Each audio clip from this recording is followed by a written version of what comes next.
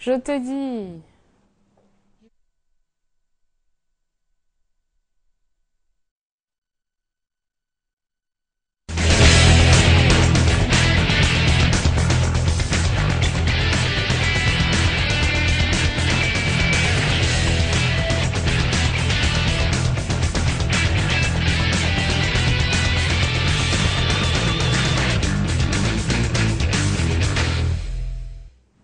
Bonsoir à tous, bienvenue, vous êtes à Lundi Sport. Je suis très heureuse d'être en votre compagnie ce soir.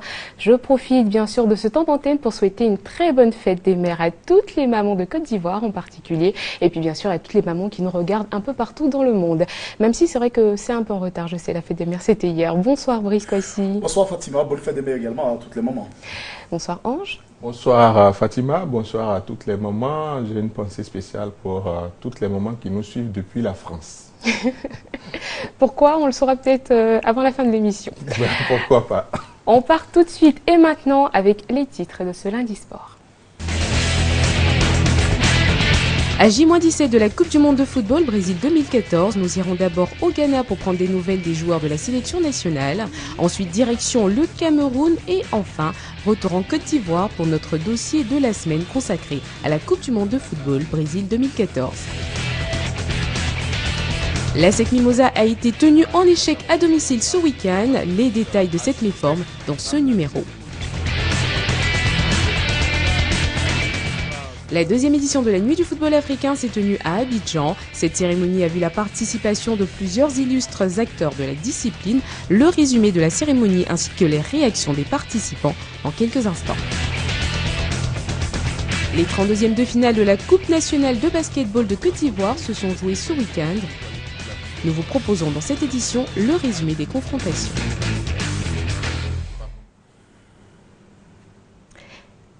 Démarrons par l'escrime où Dosso Anza a remporté la finale du sabre devant Bogri Akmel chez les hommes et chez les dames. C'est le fleuret de Abokeros qui a eu raison de Eddie Jacquier. Résumé des finales avec Daniel Kwebi Coelho. Cinq pistes pour accueillir 40 athlètes qui s'affrontaient dans plusieurs catégories à la faveur des finales la Coupe nationale de Côte d'Ivoire. Combat de 5 x 3 minutes avec 15 touches gagnants. Finale sub senior entre Begré Akmel du club Reflex de Cocody et Dosso Enza de Magique de Makoti, les meilleurs de la saison. Cette catégorie est reconnaissable par l'accouplement de ses athlètes. Casque gris, cuirasse grise, électronique à manche longue. Tous les coups de taille avec la pointe, le plat ou le deux du sable sont comptés. Dosso Enza, patient, joue sur la distance pendant que Akmel Begré joue sur sa technique. Dans une partie équilibrée, la rapidité et la concentration sont de mise. Et à 14-14, c'est le jeune Dosso Enza plus rapide qui touche le premier son adversaire pour le 15e point à la grande joie de ses supporters.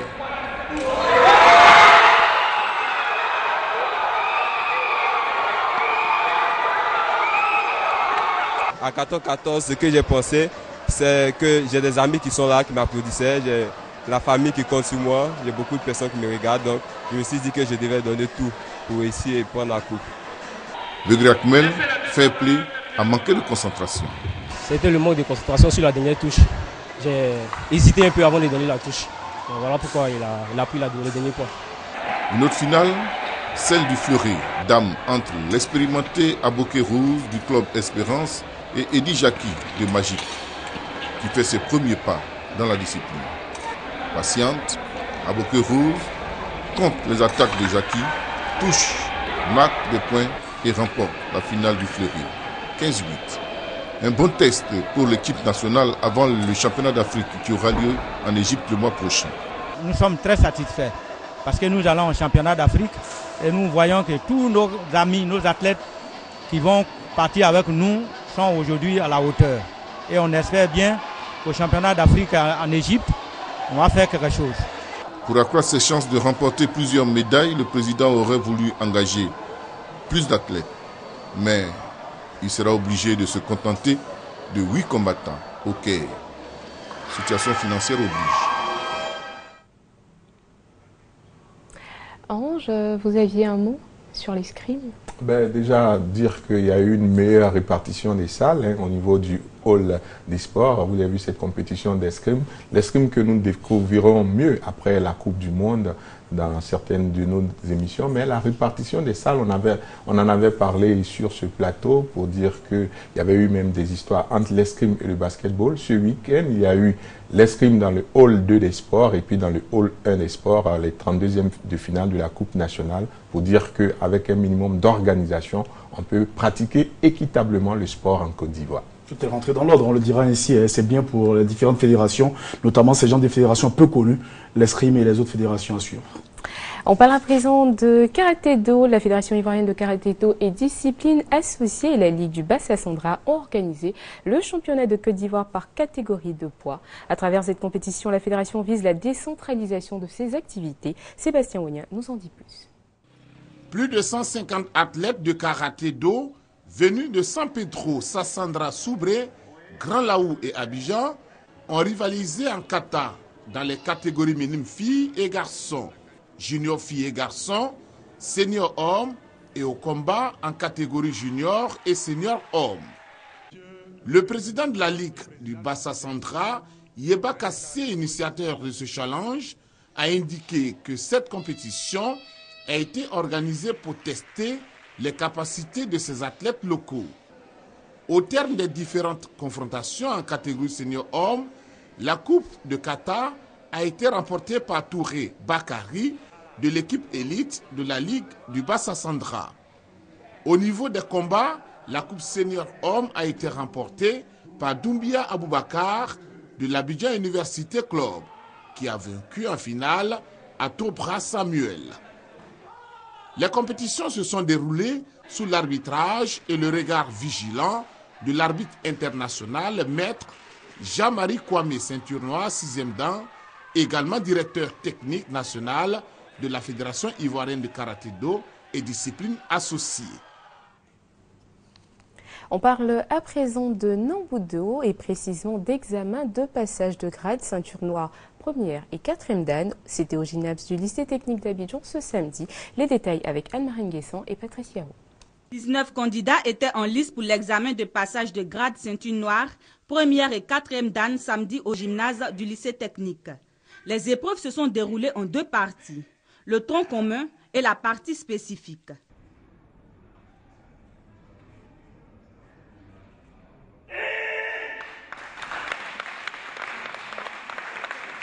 Après délibération du jury, en fonction de leur classe, les candidats ont été admis et passent les différents grades première, deuxième, troisième et quatrième dan. Je viens de finir ma troisième dan. Je pense que euh, les choses sont rentrées en ordre. On a essayé de se maintenir en tant que des anciens voilà, et des compétiteurs. Donc on a essayé de faire le maximum et puis pour pouvoir être dans le, dans le, top. Le niveau est bon. Euh, c'est des athlètes avec lesquels on a déjà parcouru toute la saison. Et disons que c'est pour clôturer la saison pratiquement. Hein. On est pratiquement en vacances que nous avons organisé ce passage-là pour relever leur niveau. Le grand maître a profité de l'occasion pour honorer aussi les anciens. Il y a toujours euh, des gens qui apportent un plus et euh, qui, euh, pour une raison ou une autre, euh, n'ont pas eu le temps de faire des passages de grade. Il y en a qui sont, par exemple, c'est une premier dan ou deuxième dan depuis 10 ans ou depuis un certain nombre d'années. Bon, et qui continuent quand même de soutenir le Namudo. Nous avons dit que ce serait vraiment bien de toujours les pousser à nous soutenir. Il faut évoluer avec un niveau technique qui soit euh, plus appréciable et surtout avoir un niveau euh, technique qui soit comparable à ce que nous avons dans les autres pays parce que euh, nous serons amenés avec les mêmes athlètes à nous confronter euh, aux autres pays dans le cadre du championnat d'Afrique par exemple et du championnat du monde. Après l'Assemblée générale qui se tiendra le 14 juin prochain, la Fédération ivoirienne de Nabudo compte préparer activement le championnat d'Afrique 2015 qui se tiendra au Cameroun. Parlons à présent de basketball avec le début de la Coupe nationale de basketball de Côte d'Ivoire. C'était ce week-end avec les 32e de finale. Le résumé des rencontres signé Daniel kwebi Kwalo. Ce sont les équipes masculines de la N2 qui étaient concernées par ces 32e de finale de la Coupe nationale de Côte d'Ivoire. La rencontre à Saoufoué, IVSTP a été remportée par l'équipe la Rivera en jaune, 67-39. Bien organisée, Assaoufoué alterne le jeu à l'intérieur et à l'extérieur de la raquette des Bleus, par moments en phase d'attaque. En défense, la zone restrictive est bien protégée et IVSTP qui joue par précipitation a du mal à s'exprimer. Beaucoup d'engagement et jeu à l'instinct entre les équipes de la SEC et des Warriors en rouge. Le guerrier Djabouté Serge Raoul, à droit à mi-distance, a été décisif dans le dispositif d'attaque du coach Traoré Amadou, ce qui a permis à son équipe de remporter la première mi-temps 43-35 et de terminer en beauté le dernier quart 62-45 pour les Warriors. Sur le terrain extérieur se jouait le match CEBB YBB en vert. Si le jeu semble équilibré par moments, c'est le centre de Benjerville en blanc, mieux structuré dans ses phases d'attaque, qui fait la course en tête pour obtenir son ticket pour les 16e de finale, 64-44.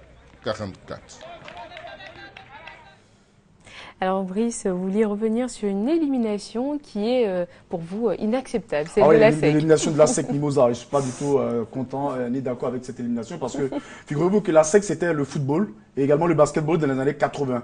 Et notamment, une belle génération en 1989 qui nous a fait tous rêver, remporter la Coupe d'Afrique des clubs champions devant le Primero, devant le Stade malien, devant l'équipe de l'Avenue du Rail avec des noms que vous avez connus, Djadji Clément, Franck Silva, une belle génération qui avait quand même donné les lettres de noblesse à la SEC Mimosa. Leur dernière belle prestation, c'était en 2002 en Angola. Ils ont été classés deuxième derrière, je crois, le Primero, le Petro Atlético d'Angola. Et depuis 2002, il n'y a plus de rupture, il n'y a plus de suivi au niveau de la SEC. La SEC a disparu au niveau du basketball. La SEC, a, la SEC a disparu au niveau du volley, on le sait, mais au niveau du basket, la SEC n'existe plus et se fait éliminer au stade des 16e de finale. 32e. 32e, c'est plus grave, 32e de finale. Par les Warriors, c'est vrai qu'il est amené par un Ouattara Zana des grands jours, mais c'est pas intéressant pour la SEC Moussa qui a écrit l'une des plus belles pages du basketball. Il faut revoir vite ça parce que j'ai pas, non, c'est pas, pas du tout intéressant pour le basket ivoirien. C'est surtout que la SEC n'est plus un club euh, omnisport, alors que la SEC est l'un des plus grands clubs d'Afrique. Et bon, le, au volet aussi, ça marche pas très bien. La SEC a perdu pratiquement toutes ses, euh, toutes ses joueuses au profit d'équipes comme le Stella et puis plus tard comme l'AS Standard. Bon, ben, il faut que les dirigeants de la SEC, parce qu'il n'y a pas que le football, hein, quand vous avez plusieurs disciplines, ça donne un peu plus de poids à votre équipe sur le plan national et international. Ce qui fait la marque d'ailleurs des grands clubs comme Alali et comme les Amalek d'ailleurs. Comme le Petro. Petro aussi, ouais. Bon, messieurs, quand vous aurez fini, euh, vous me faites signe, c'est bon On peut y aller. On parle à présent de volleyball avec la cinquième journée du championnat national. Reprise timide pour cette cinquième journée, nous dit euh, Sur les dix matchs prévus, deux ont pu avoir lieu samedi dernier au stade Robert Champrou de Marcory. Chez les dames, la SEC Mimosa était face au Phoenix et chez les hommes, Marcory Volleyball était opposé à Tafiré. Les dames de l'ASEC Mimosa étaient aux prises avec celles de Phoenix en jaune-rouge. L'adversaire n'étant pas à la hauteur des jaunes et noirs, l'a appris à ses dépens. 3-7 à 0, bien mérité pour les Mimosas, qui n'ont pas eu du mal à s'imposer. Après un premier set largement dominé par l'ASEC 25-6, les deux derniers sets ont coulé de source, 25-13 et 25-7. La seconde opposition, Club Omnisport des 4 Amazon, s'est jouée en quelques secondes. Match facilement remporté par des 4 sur forfait. Place aux hommes avec Marco Volleyball Club et Tafiré en jaune-bleu. Plus rythmé et rempli de technique, ce match entre les poulains des entraîneurs Ibrahim Kone et Tapelori va connaître un suspense pendant le deuxième set. Après un premier set en faveur de Marco Volleyball Club, 25-15, les deux équipes terminent le deuxième set avec un score de 25-24. Pour les départager, il a fallu continuer la partie. Et ce sont les Bleus qui vont s'imposer 27-25 et 25-13. On parle à présent des finales régionales de l'OSU. On part d'abord à Zuenoula. Longtemps oublié dans l'organisation des finales régionales de l'OSU, la commune de Djoukwe a abrité l'édition 2014 ce week-end. Festivités sportives euh, comptées par Sébastien Wigna. Le gouverneur de Zuenoula, Niamke Basile, le maire Yao Clément ont donné le coup d'envoi des finales régionales de l'OSU dans la Maraoué. Au stade de l'EPP Centre de Zonoula, le représentant de la commune, le collège Olympe en finale de football, recevait le collège Ibia de Boisflé en jaune. Les efforts des visiteurs ont fini par payer au tir au but, 4-2.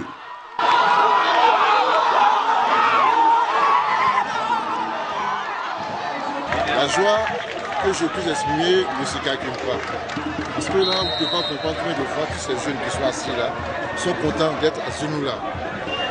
Et quand vous voyez l'ensemble, vous voyez des 5 ans à 20 ans sont tous sur ce terrain en train de jouer au football, au basketball, qui concourent à l'épanouissement de la jeunesse. Au handball hommes et dames, le niveau était moyen.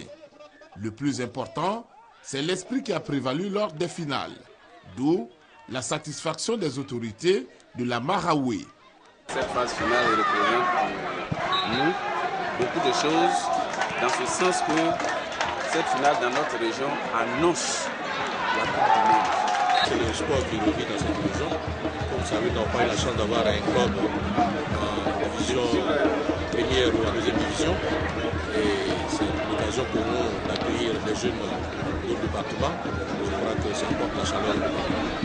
En définitive, la bonne affaire a été réalisée par les athlètes venus de Boisflé qui ont remporté 11 finales sur 15. On parle toujours de finale régionale de l'OSU, mais cette fois-ci, on part pour Poitiers. 18 finales dans 5 disciplines. Le football, le handball, le basketball, le volleyball et le taekwondo. Dans les catégories minimes, cadets, juniors et seniors. Voilà la présentation des finales régionales de l'OASU pour le Béquet qui se sont déroulées au stade Omnisport de Boaké. L'ambiance était de mise avec des équipes qui se laissaient aller au rythme des différentes sonorités musicales distillées sur place. Cela, bien entendu, pour exprimer leur joie après une victoire. Des efforts, il y en a eu de tous les genres, avec parfois des débordements dus à une adrénaline qui monte. Des établissements comme la Renaissance, le lycée Djibosunkalo, le collège Saint-Viateur et Ouenzen Koulibaly, habitués à pareille joute, s'en sont sortis avec plusieurs trophées. Lionel Dossevi, de l'institution Ouenzen Koulibaly de Boaké, participe aux compétitions de l'OASU depuis 1980. Âgé de 76 ans, après 34 ans de présence, son plaisir reste intact. C'est la même fête, hein. c'est la fête des élèves. Hein? La fête des élèves, on pas demander que ce soit la perfection. Mais on s'amuse, on danse, c'est la fête. L'OASU, c'est ça la. Après Boaké, rendez-vous est pris pour Mankono avec les finales de la région du Béré prévues pour ce mercredi 28 mai 2014. La ville de Gagnoua abritait également ses finales OSU ce samedi. Ricardo Zama, dans l'élément qui va suivre, nous dit que la qualité de jeu laissait à désirer, mais la fête était fort animée. Nous accueillons maintenant le lycée municipal de Télémécla. Défilé des délégations venues de Guibérois, Doumé de Dégonefla pour l'essentiel, exécution de l'hymne national, Message des personnalités. Aucun maillon de la chaîne protocolaire n'a été occulté samedi à Saint-Jean à l'occasion des finales régionales de l'Office ivoirien des sports scolaires et universitaires de Gagnoa, édition 2014. Et quand l'étape cérémonielle fait place à celle des Jeux, ce sont 29 finales au total qui sont servies aux spectateurs. Au menu, du football, avec ici les minimes fort bien nourris du collège moderne Zadi de Gagnoa, opposés à ceux du collège moderne Didier Doumé en bleu. Le score, tout naturellement, est à la hauteur du déséquilibre physique, 4-0 pour le collège moderne Zadi. Chez les dames, catégorie minime, le collège moderne de la paix des Gagnoa en orange est venu à bout du collège moderne Zadi, 11 tirs au but à 10, quand le lycée moderne 1 de Gagnoa prenait le dessus sur les cadettes de Yacouba Doumé en bleu, 6-5. Ce samedi à Saint-Jean, il y a eu également du handball, du basketball et du volleyball et surtout, surtout de la lutte de qualité, comme dans ce duel féminin équilibré de Priska grâce à Lélé en maillot rougeâtre ou encore cette belle empoignade Quadio Jean Noël, Cissé Ali, Cissé qui donne la victoire à l'EPP Sokula à la joie de ses supporters.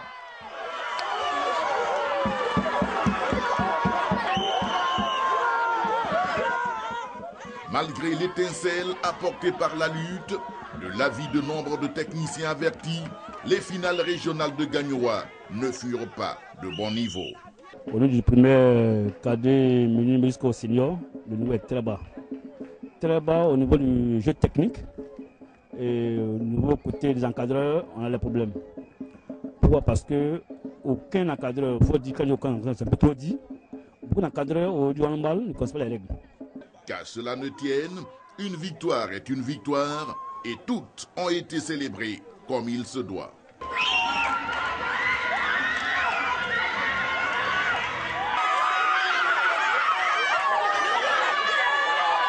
Euh, Vraiment, on est heureux. On a préparé cette finale avec sérieux, beaucoup de sérieux. Et c'est le fruit de nos efforts. Retenons pour l'essentiel que ces finales sont un prétexte pour la mise sur pied d'équipes régionales dans chaque discipline pour les interrégions dès le mois de novembre 2014. L'état déplorable des infrastructures à Gagnora pourrait être la base de la mauvaise qualité des jeux scolaires et universitaires. Ricardo Zama, présent lors des compétitions, tire la sonnette d'alarme. Toutes les fois qu'il s'y est mis, l'Office ivoirien des sports scolaires et universitaires a presque toujours gagné le pari de l'organisation de ces Jeux. Sécurité, santé, etc. Les moindres appréhensions ont été vite et bien circonscrites samedi à Saint-Jean. Au niveau de l'organisation, je pense que nous avons tant bien que mal fait ce que nous devons faire, faire en sorte que toutes les rencontres se déroulent dans un esprit fair play. Au niveau du contenu, nous voyons également qu'il y a quand même beaucoup à voir au niveau de, la technique individuelle des enfants, parce que nous sommes à des finales régionales, mais on voit que le niveau n'est vraiment pas trop élabo- élaboré encore. Je pense qu'on va attirer l'attention de ce fait-là au niveau des encadreurs pour qu'ils continuent les entraînements pour préparer l'équipe régionale. On l'a dit, le niveau des jeux est quelque peu avarié. La formation qualitative à la base est plus qu'impérative aujourd'hui et les personnes ressources existent qui ne manquent ni d'arguments ni d'ambition. Il faut aller euh, vers euh, la formation, euh, organiser, ouais, vers la base, organiser même l'adminis- l'administration pour pouvoir arriver euh, à, à nos objectifs. Donc aujourd'hui, le ministère de la Jeunesse des Sports a besoin de la compétence. Il faudrait que tous ceux mêmes qui sont sur le terrain arrivent au niveau de la direction régionale et mettre une base solide au niveau du sport pour que le sport progresse. Le gros problème reste celui des infrastructures. Elles sont hélas moyenâgeuses dans tous les établissements scolaires du pays et influencent négativement la formation de base des athlètes. Quand ce déficit criant aura été comblé, l'OASU redeviendra à coup sûr ce vivier de premier choix qu'il a été des années durant pour le sport ivoirien. Brice, tout à l'heure, vous notiez la bonne cadence de l'OSU euh, cette année. Ah, depuis quand même, on dira bientôt deux ans, hein, parce que, avouons-le, depuis deux ans, ça bouge quand même au niveau de l'OASU. J'étais présent l'année dernière du côté des Gaïmois pour les finales nationales, depuis euh, pratiquement deux ans avec euh, le, le directeur Kone Mamadou et son, groupe, quand même ça bouge. Regardez la dernière fois, la venue même euh, de Samuel Eto'o avec un partenaire, l'OASU a mobilisé à Boaké où nous étions la semaine dernière du monde. Et voir ces jeunes-là désormais se mettre dans le mouvement de l'OASU, avec la création des ligues au niveau des écoles, la création même des fédérations scolaires, c'est très important déjà de mettre les enfants dans des responsabilités au-delà même du sport. Et cela est très important parce que ça permet à, à l'OASU de révéler des talents. Le grand mal qu'on a, c'est que les fédérations sportives ne suivent pas. Généralement, toutes ces fédérations ne vont pas assister à ces rencontres de football, ces rencontres de basket, ces rencontres de, de, euh, de volleyball, d'athlétisme, ces, courses d'athlétisme. Donc, ils n'arrivent pas à les détecter à la base et c'est cela qui est regrettable. Il faut suivre le mouvement mis en, page, en, marche du moins par l'OASU afin qu'on puisse détecter les vrais talents sur le territoire parce qu'on est quitté à Boaké, euh, Gaïwa, ça veut dire que les choses bougent. Reste que c'est vrai qu'il y a le problème des infrastructures, c'est un problème qui est un peu partout dans tous les établissements. Peut-être aussi qu'il y a un problème de formation des formateurs, parce que quand le niveau est aussi bas, il faut voir certainement du côté des athlètes, bien sûr, mais il faut voir aussi au niveau des formateurs, parce que c'est eux qui doivent apprendre aux jeunes à les rudiments de ces différents sports euh, qu'ils pratiquent. Donc, il faut voir au niveau de l'INJS qui forme euh, toutes ces personnes qui sont sur le terrain, voir là-bas aussi si tout se passe bien, euh, parce que on ne le dira jamais assez. Et tous les grands sportifs que ce pays a connus sont issus de l'OASU, des grandes finales régionales, des grandes finales euh, dans les différents établissements. Il faut qu'on revienne à ce passé-là. On passe euh, à présent au cyclisme avec le Tour de l'Est, troisième et quatrième étape. Après la première étape de Dimbokro et la deuxième Dimbokro Tomodi, c'est Yamsoukro qui a accueilli la caravane du Tour de l'Est. Au menu, une course individuelle contre la montre et un circuit en ligne. Thiebissou, Boaké, les détails de ces courses relatés par Salif Ouattara. La troisième étape du Tour international de l'Est a donné place à un autre spectacle à Yamsoukro, la course individuelle contre la montre. Un tour complet du quartier administratif, soit un parcours de 17 km auquel les 30 cyclistes du Tour de l'Est s'essayeront. Objectif être le plus rapide. À ce jeu, l'Ascavel de Koumassi croit pouvoir détrôner la SOA et le Kadiogo, leader des deux premières journées. Son pivot, Isiaka Fofana, dossa numéro 21, se lance. À son arrivée, le chronomètre affiche 26 minutes 42 secondes. À cet instant, la SOA lance son joker, Isiaka Sissé, dossa numéro 1. Jusque-là, le vainqueur du Tour cycliste de Côte d'Ivoire 2013 jouait le second rôle. En 24 minutes 12 secondes, Sissé Isiaka répond présent et remporte la troisième étape du Tour international de l'Est. La quatrième étape, Thiebissou Boaké s'est couru sur une distance de 62 km. Le soleil n'a changé en rien la volonté des six clubs en compétition, être le premier à l'entrée de Boaké. Mais la chaleur n'arrange pas les choses, les pédales s'alourdissent. À 15 km de Boaké, à Djebonois, deux clubs ivoiriens prennent les choses en main la SOA au premier rang depuis Dembokro et le Vélo Club d'Adjami. Résultat, Bossirou Conté de la SOA et son coéquipier Amidou Lingani donnent encore une victoire à la Société Omnisport des Armées. C'est des techniques d'entraînement, des stratégies militaires qu'on essaie de mettre dans le sport. Et quand on teste, ça marche. Un sportif, tu ne dois, dois, pas sous-estimer ton, ton adversaire. Tu dois le considérer. On considère tous nos concurrents, les Burkinabés, et, les autres. On les considère bien, mais on ira jusqu'au bout. Sur un temps de 1h48 minutes, Bassirou Conté arrive en tête, suivi de Ouattara Bolidigi du Vélo Club d'Adjami. Amidou Lingani de la SOA referme la marche du trio gagnant, essentiellement ivoirien, pour cette quatrième étape du Tour international de l'Est.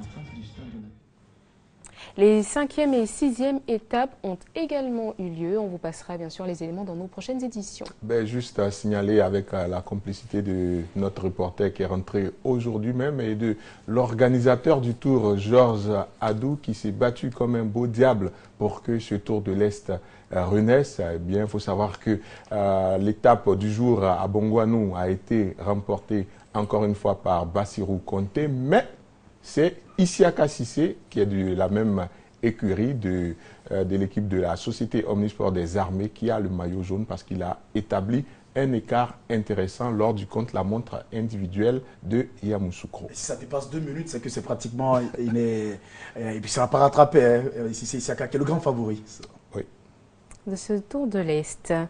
On parle du tournoi Henri Conan Bédier, la finale du tournoi de la cohésion et de l'énergie dotée de la Coupe euh, Force 2015 s'est déroulée ce dimanche. Ah non, par contre, ça c'est plutôt à la Riviera. Hein. Ce sera euh, donc tout à l'heure. Mais on va d'abord partir avec l'élément euh, de RTI Waké justement sur le tournoi Henri Conan Bédier. C'est sur un stade surchauffé que s'est déroulée la finale du tournoi de la cohésion et de l'énergie doté de la Coupe Force 2015. Dix équipes au départ, après trois semaines de compétition, il n'en reste que deux, le FC Vétéran et le FC 10. Une très belle affiche. La première période de ce derby s'est soldée par un score vierge. À la reprise, le FC Vétéran jaune, plus entreprenant et mieux organisé, se montre très percutant en attaque sans pour autant trouver le chemin de filet. Au terme du temps réglementaire, les deux équipes devront se séparer par l'épreuve fatidique des tirs au but. Le FC 10 plus à 3 marque plus de buts et s'adjuge dame coupe au détriment du FC vétéran. Nous avons produit un football Real Atlético. C'était un très bon football. Sachez que c'est la Rivera 3 qui a gagné. Outre le trophée, le vainqueur de ce tournoi a aussi reçu un jeu de maillot et une enveloppe. Le deuxième et le troisième ont été également récompensés. Il s'agissait bien dans cet élément de la finale du tournoi de la cohésion et de l'énergie, donc doté de la Coupe Force 2015, qui s'est déroulée ce dimanche à la Riviera 2. Et c'était euh, Sébastien Ognien au commentaire.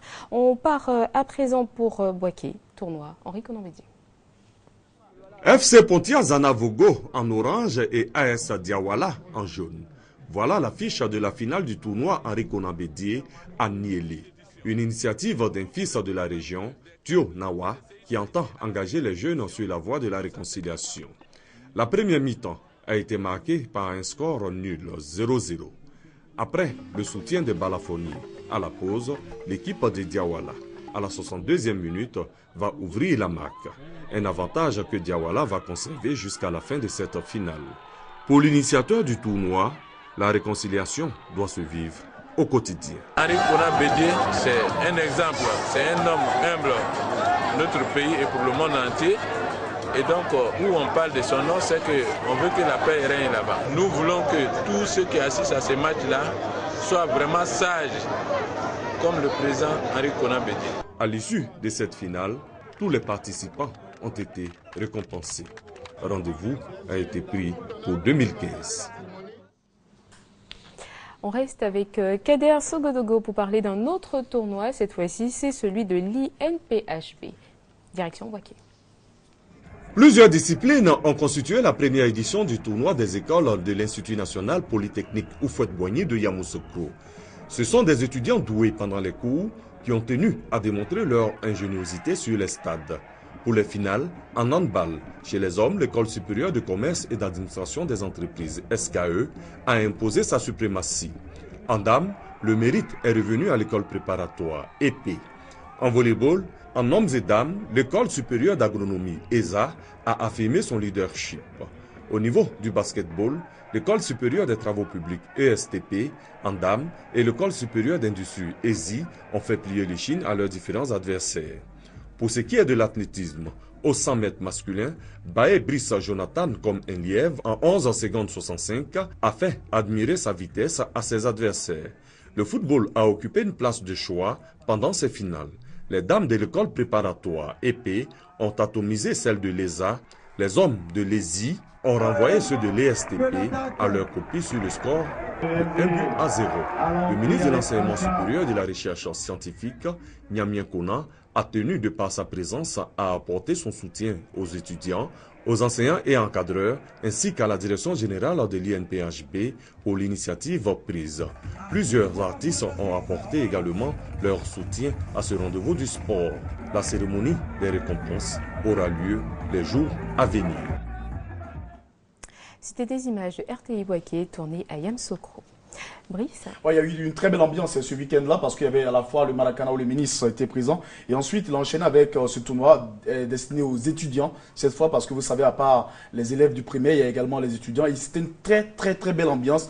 On a eu à noter surtout au niveau du football féminin euh, deux bonnes joueuses hein, qui peuvent même jouer dans le championnat puisqu'on parlera du football féminin mais vraiment qui ont atomisé leurs adversaires du jour 5 ou 6 à 0 mais c'était très intéressant, une belle ambiance dans ce joyau-là parce qu'il faut le souligner, l'NPHB c'est un Même une équipe nationale peut aller préparer une compétition euh, de haute dimension. Et félicitations en tout cas à la chargée de communication de l'INPHB qui était au fourré au moulin de cette activité. Ce que je constate surtout, mm. c'est qu'il y a de la vie. Il y a de la vie, en tout cas, de l'animation au niveau des scolaires, au niveau universitaire, au niveau des grandes écoles. Ben, il faut encourager tout ce mouvement-là, l'encadrer et puis en sortir euh, peut-être les futures euh, vedettes du sport en Côte d'Ivoire. Il y a Konantan vrai qui était étudiant. Bien. Vous-même, vous avez toujours à la UC. Bon, bon. Alors, merci de me tendre la paire. Justement, on parlait de football féminin. On va rester avec donc les femmes pour parler des éliminatoires de la Cannes 2014. Le deuxième et dernier tour aller des éliminatoires donc de la Cannes féminine entre la Côte d'Ivoire et la Guinée. D'accord, on me fait signe qu'il faut d'abord parler euh, du tournoi du secteur pétrole et énergie. Alors le stade de la Cire a abrité ce samedi euh, le tournoi du secteur du pétrole et de l'énergie. Ce tournoi été à l'étape des demi-finales hommes. Résumé, Angers Soukron. La Pétrosie, détentrice du trophée du tournoi du secteur du pétrole et de l'énergie, n'a pas supporté la décharge électrique administrée par la CIE. Au stade de la cire de Vridi, la Petrosi en orange champion en titre s'est fait électrocuter ce samedi 24 mai en demi-finale par la CIE en vert et dans un grand jour. Pendant la première période, les deux équipes se neutralisent, même si la CIE a quelque peu dominé les débats. Plusieurs occasions de but mal exploitées avaient ce résultat de 0-0 à la pause. En deuxième période, la CIE va augmenter ses fréquences et sur un coup franc bien exécuté, Adou Jonas, le capitaine de la CIE, réussit un lobe parfait, ouverture du score après 5 minutes de jeu en deuxième mi-temps.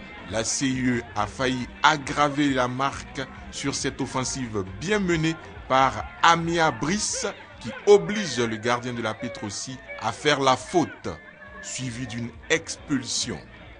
Plus dominatrice et entreprenante, la CIE réussit l'exploit en battant la Petrosi, championne en titre, par un but à zéro. Nous sommes satisfaits à moitié hein, parce que nous voulons honorer notre direction générale qui est au cœur de l'énergie.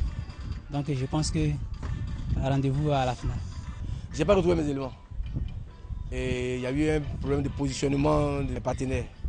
Mais je crois que le point focal même la chose, c'est que l'équipe adverse avait envie de gagner. La Sodesi, quant à elle, a récupéré le deuxième ticket de la finale devant Petro Ivoire qu'elle a battu sèchement 3-0. La finale des hommes se tiendra donc au stade de la Cire le 14 juin 2014 entre les frères ennemis de la CIE et de la Sodesi. Et voilà, on parle à présent donc euh, de football féminin et donc euh, des éliminatoires de la CAN 2014. Comme je vous le disais tout à l'heure, la Côte d'Ivoire a rencontré la Guinée équatoriale et à Abidjan, la rencontre s'est soldée par un score de parité. Dans deux semaines, les filles de Clémentine Touré seront en Guinée équatoriale pour être situées sur leur sort, pour bien sûr savoir s'ils iront euh, participer à Namibie 2014. Mais avant, le résumé de la rencontre justement de ce week-end signé Odalepé. Les tenantes du titre, les Équato-Guinéennes, ont été les premières à annoncer les couleurs lors de cette rencontre. C'est la meilleure joueuse d'Afrique, Genoveva Anonman, qui ouvre le score à la 30e minute sur coup. Un but à zéro pour les Nzalang nationales. Conscientes de l'enjeu du match, les Ivoiriennes se réveillent et obtiennent un penalty que Fatou Koulibaly transforme. Un but partout. À la reprise, les deux équipes baissent d'ardeur. Les Ivoiriennes trébuchent devant les filets équato-guinéens. Les visiteuses, quant à elles, essaient de leur côté d'obtenir la victoire en vain. C'est sur la marque de 1 à 1 que ces équipes se séparent pour se donner rendez-vous dans deux semaines en Guinée équatoriale. Ouh là là, la Côte d'Ivoire se fait peur. elle Oh, aussi. ça fait peur, mais c'était euh, prévu hein, parce que vous connaissez la Guinée équatoriale. euh, c'est le pays où le football féminin est vraiment la discipline phare. Le- elle, depuis 2000, euh, pratiquement 2008 déjà, elles avaient remporté avec tous les Clémentines, l'entraîneur même, la Coupe d'Afrique des Nations face à l'Afrique du Sud, battu 4 buts à 0. En 2012, elles ont réédité encore face à la même équipe d'Afrique du Sud. Et les voilà qui vont certainement, elles viennent en Côte d'Ivoire pour rencontrer des joueuses qui progressent quand même, hein, nos joueuses ivoiriennes. Parce que faire 1-1 avec la Guinée équatoriale, des Chinaza, des Jinuruba, et c'est une de Tiga, c'est une très très belle équipe. Mais il faut associer à cela également dire que nos filles progressent. Elles ont étrié le Mali, elles sont en train d'apprendre. Et j'espère que tous les Clémentines qui lancent un cri de cœur à à l'issue de la conférence de presse sera entendu. Elle aura les moyens pour aller préparer ce match. Pourquoi pas réa- réaliser l'exploit Ça ne sera pas facile avec des anciennes Bita euh, et puis des nouvelles. Nguessan Koko qui est vraiment formidable. On espère bien pouvoir faire un bon petit résultat. À défaut, il faut continuer toujours la formation et la progression du football féminin. Mais justement, avant de, de continuer sur ce sujet de football féminin, on va écouter la conférence de presse où les deux entraîneurs se sont prononcés, mais également les capitaines. La Guinée équatoriale, elle a joué très très bien. Euh, Ça nous a fait pour qu'on connaisse que l'équipe, on, on ne se prépare pas l'équipe de trois jours parce que c'est ça que la Guinée a fait et Côte d'Ivoire était au-dessus de nous. Euh, Félicitations. Hemos venido con muchas precauciones, respetando mucho. Nous avons le problème de jouer, qu'on arrivait tard, parce que les plus de jouer, ils viennent de, l'Europe, en Brésil, en tout ça, en Ligue de- dehors. C'est pour ça, je n'ai pas dit que l'équipe, parce que ça consu- euh, ajouté tard, c'est pour ça euh, le match, euh, il n'est pas, euh, les ils sont fatigués vite. Mais je suis content avec le résultat parce que j'ai d'accord que quand je vais préparer et ce mois, le match retour, je vais faire tout le possible pour euh, faire un bon match. Nous y croyons. C'est un match de football. Et il y a 90 minutes. Nous jouons en face d'une équipe très expérimentée et puis une équipe championne d'Afrique deux fois. Nous y croyons. Nous allons aller en Guinée équatoriale pour chercher la qualification. On aurait bien pu faire mieux que ce résultat. Mais c'est aussi ça le football. Nous sommes créés le maximum d'occasions. Et terminer le score par un but partout, je crois que c'est la volonté de Dieu. Nous prenons cette, euh, ce résultat. Des mines graves quand même euh, en conférence de presse. Est-ce que est-ce c'est une appréhension? Est-ce que est-ce que euh, vraiment la Guinée équatoriale fait peur apparemment? Non mais des mines graves ça ne suffit pas. Il fallait être plus grave sur le terrain et affronter cet adversaire qui s'est avéré, c'est vrai, redoutable et coriace, mais je ne comprends pas les équipes ivoiriennes. Si ça avait été une autre équipe avec les mêmes éléments, les Ivoiriennes, elles allaient bien jouer. Mais quand euh, on a le palmarès déjà de l'adversaire, on dit non, la Guinée équatoriale, championne d'Afrique, ceci, cela, donc on est déjà tétanisé. Les Ivoiriennes se sont créées les meilleures occasions dans cette opposition. Elles sont passées à côté. Elles ont eu les occasions, elles ne les ont pas mises au fond. Elles ont attendu d'encaisser d'abord avant d'essayer de réagir. Non, il ne faut pas jouer avec le palmarès des équipes. Le match se déroule à 11 contre 11, qui plus est au stade Robert Champrou de Marcory, devant un public acquis à la cause des Ivoiriennes. Moi, j'attendais sincèrement mieux de la part de ces joueuses-là. J'ai été déçu par leurs prestations. J'espère qu'elles ne vont pas aller en Guinée équatoriale en se disant que bon, on est déjà battu, on vient, on joue et puis on rentre. Elles peuvent toujours se qualifier. Si on avait battu les Guinées équatoriennes ici, c'est ce qu'elles allaient se dire, que chez nous, on peut gagner. Donc nous aussi, en Guinée équatoriale, on peut gagner. Pourquoi pas? Ah, C'est peut-être possible, hein, mais il faut également dire à la fédération de mettre un peu de moyens au niveau du football féminin. Figurez-vous qu'en Guinée équatoriale, l'État donne 1 milliard de francs CFA et la fédération donne 10 millions à chacun des 12 clubs engagés dans la Ligue nationale, le championnat de, cette équipe de, de, championnat de ce pays de Guinée équatoriale. Ici, il faut mettre un peu le moyen. Surtout que depuis euh, il y a cela euh, deux ans, on était présent à la Cannes, c'est-à-dire il y a une progression et à deux, son groupe se battent bien, mais il faut soutenir un peu avec un peu de moyens. mais, justement, en parlant de moyens, on a reçu euh, Clémentine Touré sur notre plateau. On lui avait posé la question de savoir si euh, l'encadrement de, la fédération euh, faisait ce qu'il y avait à faire. Elle nous avait dit oui. Donc, il faut le dire. il faut le dire, parce que moi, j'ai un élément qui est passé à 18h30 sur Clémentine qui demandait à rencontrer le président de la fédération pour discuter avec lui sur certaines choses qui ne marchent pas. D'accord. Bon, ben bon. Maintenant qu'elles ont, elles ont concédé ce match nul, si les langues peuvent se délier, eh ben, euh, pourquoi pas? Mais bon, il y avait là l'occasion, en tout cas, de montrer que bon, ben, le football féminin ivoirien se porte bien. On a le championnat tous les week-ends. Il faut continuer à se battre pour exister. Est-ce que vous pensez que, que, les meilleurs éléments étaient sur le terrain, au vu du championnat justement euh, national? Oui, on ne peut pas douter de la capacité de Clémentine Touré à sélectionner les meilleures joueuses de Côte d'Ivoire pour les mettre en équipe nationale. Ça aurait été un homme, on allait dire euh, peut-être qu'il a choisi ses copines ou bon, c'est une dame et on connaît les performances de Clémentine Touré. Donc ce sont les meilleurs. Ce sont les meilleurs. Binta était là, Naïe Esther était là, Jeanne était là, Nguessan Coco, Akafou, Tia Inès. Elles, elles ont eu surtout peur de l'adversaire. Qu'est-ce qui s'est donc passé Non, elles ont eu peur. Elles ont tremblé. Elles ont tremblé parce qu'elles se sont dit waouh, c'est la Guinée équatoriale, on sera bouffé à notre propre sauce. Elles ont eu peur alors que sur le terrain, sur les occasions qu'elles se sont créées, elles avaient largement le temps de passer ce cap de la Guinée équatoriale ici à Abidjan. Bah, en tout cas, on espère que justement ce match nul. D'ailleurs, elles n'ont pas perdu. Hein elles ont fait un match nul. Espérons. La capitaine de la Guinée équatoriale était claire hein, dans sa, la conférence de presse. La Côte d'Ivoire était meilleure. Comment je l'ai dit Inefficace devant. Évidemment, le résultat, c'était un match nul. On espère qu'elles pourront se créer des occasions dans un beau stade. Hein, parce que Malabo est un très très beau stade. Se créer des occasions. Marquer. Il ne faut pas commencer à les effrayer. Malabo Marquer un but, pourquoi pas faire un, un espoir. Ça sera un espoir déjà qui va signaler une présence euh, merveilleuse à la prochaine Coupe d'Afrique. J'espère. Bon, allez, vous avez nos encouragements. On espère que tout va bien se passer et que le résultat qui arrivera euh, sera le bon. On parle à présent de la deuxième édition de la Nuit du football africain qui s'est tenue ce jeudi euh, à l'espace Latterie I-20 des deux plateaux. Un résumé de l'événement nous est proposé. Il est signé Ange Assoukou.